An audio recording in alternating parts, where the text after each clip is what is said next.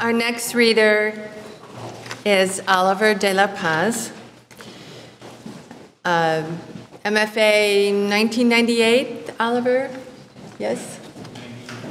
99, okay.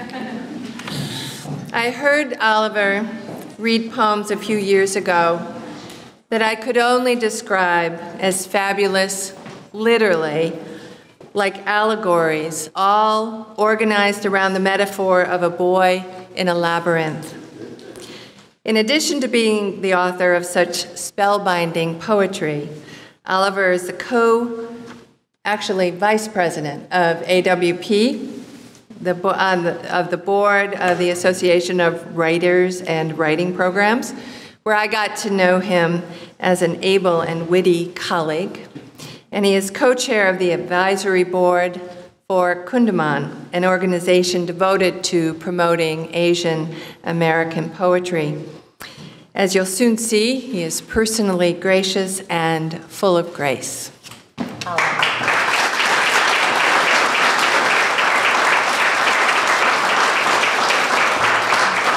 Thank you. Can you hear me?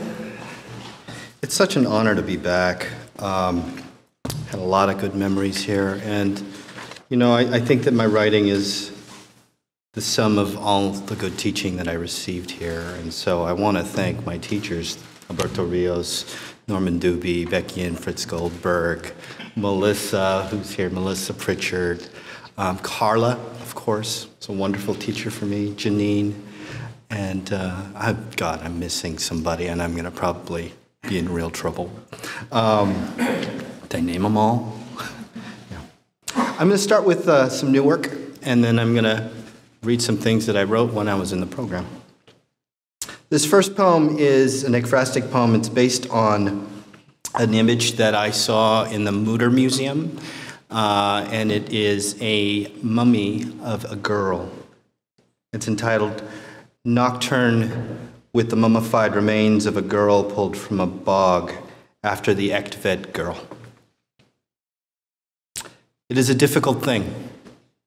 The skin and the skin's new form, and how what's missing grows large, as if the source of something that once drew warmth and poured out the sack of the body, filled with sawdust and was sewn up the knot of fingers folded into a bramble fence, soft tissue stiffened to the texture of a ballet slipper, and the elegant foot somehow gone from its housing. Here is where the slippage of selves floats its weight into the deep swales of summer. The nights are warm, and the sphagnum hushes every sound. Its density troubles the landscape with thatches, pockets, small underpinnings, indeterminacies. The bowl at the center of the bog, deep enough to cover a man from head to toe in sludge. And the frogs call their soft songs to find each other in the fog. The frogs stir from deep within the mist and confuse themselves with their sound, a singular hum, a singular engine with the sole industry of determining love. Love, love, they say. Their white throats fire their outbursts. It's easy to lose yourself among the singers and the dark. And this is how to begin. Softly, the foot presses against the wet, dark peat. Softly, the curses of breath rise up from the breastbone, and to the mouth, the acidic grit of bog's dark jade. Into the nose, the terrible intercessions of muck rushing past the septum into the throat and down, further down. And from the mind, bright lariats of holly around a table, the faces of family, heavenward, lit by the last auroras of something, a memory pressed against a monstrous glass. It is here where the body resides, and the skin empties its contents. The skin hardened into a pouch. The pouch, which was once a girl, holds nothing but the tragedy of love, the tragedy of beautiful breaths taken and swallowed and sung. So I'm going to read um, a poem that I wrote in Tito's class. And one of the assignments that he gave us in magical realism was to write something different. And I had, I had written a long poem, which was really a terrible poem. Um, and this was a really good assignment for me at the time. Um, so I started writing these little vignettes. Uh, the poem is entitled The Fourth Madonna, and in Lourdes, Lourdes in France, um, one of the ideas that they have there is that you can collect these little plastic statues of the Virgin Mary, and that uh, they have the holy water from the fountain of the grotto has the power to heal you. Um, and being a Filipino Catholic, we probably accumulated 20 of these little statues. Um, so they were everywhere in our house. This is entitled The Fourth Madonna. She's a statuette the size of a child's thumb, and the boy thinks she speaks to him. Fidelito hides her from the television's aquarium light, fearing that she may drown the way Domingo sinks below the surface of the cathode. She appears in the bathroom on top of the toilet's water tank to prove that she's wholly unafraid. She has been washed in Fidelito's pant pocket four times, a miracle that her paint has not chipped. She has appeared in wars with other statuettes her same size. The green army men freeze, toppling over when they see her. At night, she swings from a string hung from the ceiling of the boy's room, circling with the propeller blade of the ceiling fan. She blesses the room with her blue arcs. So I thank Tito for that, that assignment. And another assignment, this is from another class. This is from Becky and Melissa's class on the erotic image. And I have to tell you that no class terrified me more than that class because, you know, we were like, damn, is that erotic? No, it's not erotic. And you know, we would have these conversations in class, and you know, my, my dear friend Sue Elspa was like, that's not a sexy poem. Are you sure? It feels like a sexy poem. If you like, I'm coming out of my body here, that this is really a stretch for me. And so I found out that I'm just not a sexy poet, but, um, but I can write romantic poems. So this is a poem that kind of was written slantwise, slantwise from the erotic image poem in Melissa and Becky and Tot years ago. Aubade with scorpions and monsoon. Little sleeper. I mentioned the scorpions were thoughtless in the rain as they swam down the length of the green skins to the flood, eel like with furious tails. Earlier, the sky had turned a mustard color, proving that August and its rains would soon bathe the desert, making the whole thing become a dark scar. Water caused the scorpions to shelter against the cacti spikes. The yellow brown exoskeleton click clacked as they climbed atop one another, preserving themselves. Of course, the cacti were indifferent to all this, as are you when you are sleeping. How calamitous it would be to miss your slumber. I know it's early, and daybreak is just another accident, sufficient for us to snub in our weariness. Listen, the monsoon's relentless. The lightning leaps from cloud to cloud in whole valleys. It looks like a flashlight shined on the rafters of the firmament.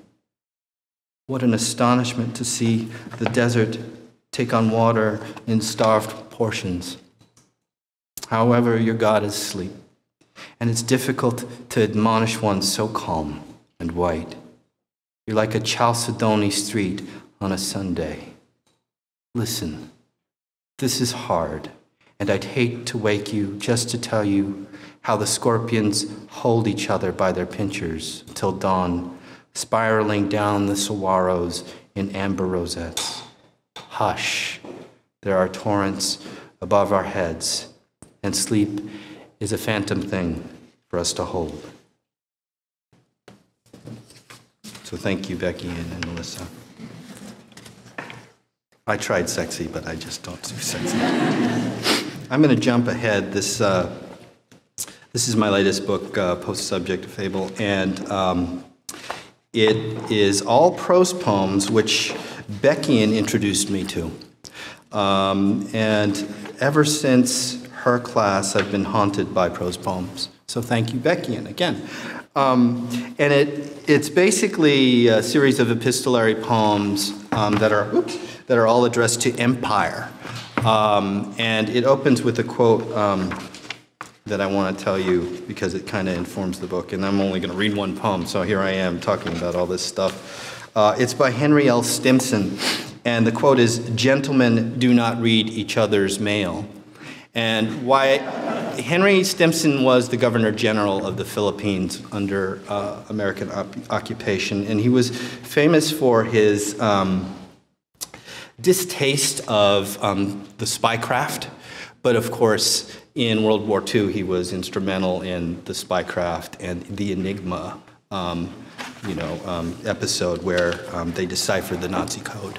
So Henry Stimson. This is all to say that I have one poem that's I'm going to read. Dear Empire, these are your jellyfish. They are the artist's obsession the way their forms are taken by tides, pulled towards the shore or towards some unknowing place. Our beaches are cursed by thousands of these little ghosts. Yet the artist fills her canvases with their clear and brilliant orbs. Occasional tendrils seem to slide off the edge, their little hidden fires, their little underneath parts papering the dark to have a mind as hers, to have an eye that understands the little shocks beneath, to consider that these ghosts have such an edge, such a sting. All right. I'm going to read two more poems. Um, I have a story about Norman. Norman Dubie was my thesis uh, reader, and it was on the tail end of my time at ASU, and he would give me these really elaborate assignments. Um, one of the assignments um, was to write a poem with this block of ice that held a deer's heart inside of it, and that it fell off this cart into the street and then started melting slowly in the street. And I went home with this assignment and I'm like,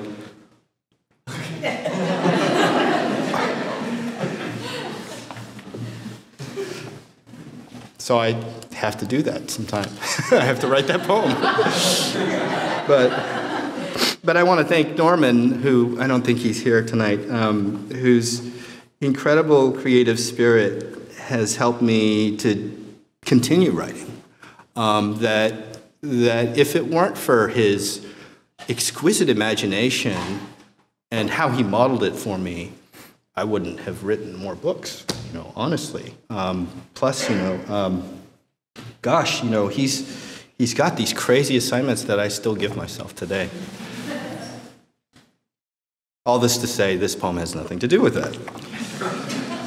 I live in uh, Washington, and I, for a time, lived um, in Deming near the Department of Natural Resources um, land trust. And uh, there's a swath of 40 acres that my uh, house was adjacent to. And prior to buying the house, it was a full forest. And then after I bought the house, they clear cut it. I was really mad. Um, but uh, it generated this poem. Meditation with smoke and flowers. It is Monday, and I'm not thinking of myself. My son asleep in his stroller, the dark conifers, holding nothing but their scent. I'm walking him to the place where loggers have cleared 30 acres, leaving only ash and stripped tree limbs. The light now comes to the places once dark, and now wildflowers, where once the moss grew thick and complete. The flame of something around the corner, and I'm thinking of the wild tiger lilies that line this gravel road below my house how they clump together, their stems bent down from the weight of their flowers. How mouth like they are, and how their speechlessness makes the road quieter. Each flower is a surprise, like the flaming tip of cigarettes in the dark. I think that the road cannot handle all these mouths, though there are mythologies held in check by the tongue. Like the story my father told me about his father in wartime, and how his own father forced him, with the threat of a beating, to go under the house for a cigarette from a Japanese foot soldier bunkered down. I can see my father's small, trembling hand outstretched to this man whose face is mud caked, smelling slightly of fire and lubricant for his rifle. The smoke from the soldier's own cigarette takes the shape of the underside of the house, and I imagine my father can hear his own father above him pacing. But this road now is free of smoke. The logging trucks have taken off for the night, and the tree remnants have smoldered into nothing but charcoal. The wreck of everything is a vacuum. So, too, the wreck of a village after war, or the floorboards above a son's head in fear of his own father. Here, though, there is nothing to fear. The wheels of the stroller on gravel is the only sound and the idleness of the excavation trucks hearkens to someone asleep in the uneasy dark. No, I'm not thinking of myself. I'm thinking of an agreement my father must have made with himself years ago when the houses were burning into bright bouquets in the nighttime. How perhaps he swore he would not beat his own son, while somewhere in the afterlife his own father smokes and paces. Perhaps there are no flowers in that place. Perhaps the lone soldier, through with hiding, crawled out after the guns had stopped and dusted himself off, the sun striking his face with its unreasonable light. I'm thinking of my son asleep and of the wild tiger lilies how frail they are in this new light, why they come, why they spring up unannounced as suddenly as the promises we make with ourselves when we are young. And I'm going to end with this poem um, in defense of small towns. Um, this is for Marco. In defense of small towns. When I look at it, it's simple, really. I hated life there. September once filled with animal deaths and toughened hay, and the smells of fall were boiled down beets and potatoes, or the farmhands' breeches smeared with oil and diesel as they rode into town, dusty and pissed.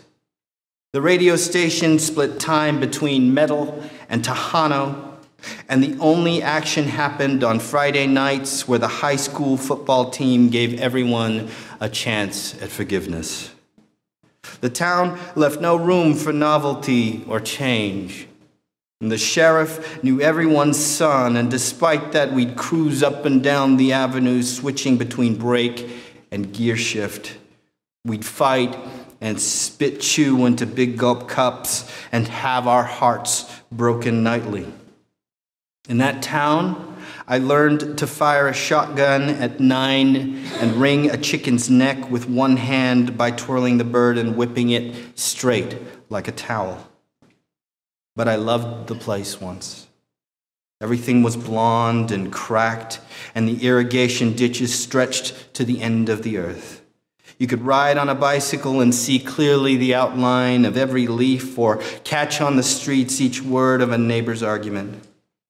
Nothing could happen there, and if I willed it, the place would have me slipping over its rocks into the river with the sugar plant's steam, or signing papers at a storefront army desk buttoned up with medallions and a crew cut, eyeing the next recruits.